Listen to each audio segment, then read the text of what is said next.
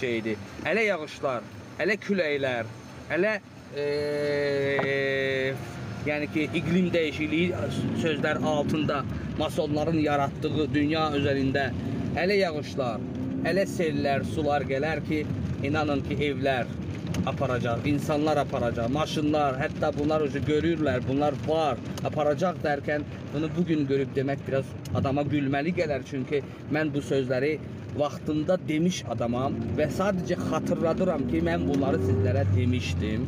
Nə vaxt demişdim? 2014-cü, 15-ci ildə demişdim Nadim Ələxanov.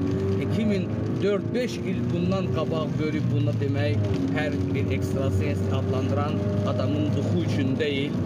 Amma e, məsəl üçün bugünkü duruma baxaraq təxminən gələn ilin necə olacağını e, psixoloqlar kimi, politoloqlar kimi bir çox adamlar deyə bilərlər. Bunu deməkdə nə var ki, çətin.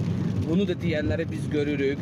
24 gündə a, savaş bitəcək deyən ekstrasens Zirəddin bəy Moskvada olan durub e, 2021 2021-ci ildə mən demişdim deyir, e, yağışlar, sellər olacaq, çonğunlar. İndi də təzə proqnoz verirlər ki, çoxlu ölümlər görürəm, cəsədlər görürəm deyir. Ho ho ho ho. Çox gülməlidir vallahi Zirəddin qardaşımız.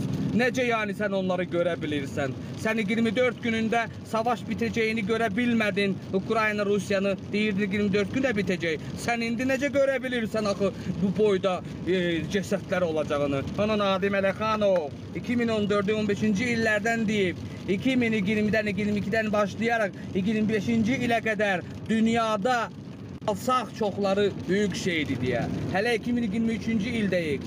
Çin, Rusiya birliyi başladı bu yaxınlarda. Siz bunları görərək bu proqnozları verirsiniz. Ya aşk olsun ya. Və o şey var, bir dənə də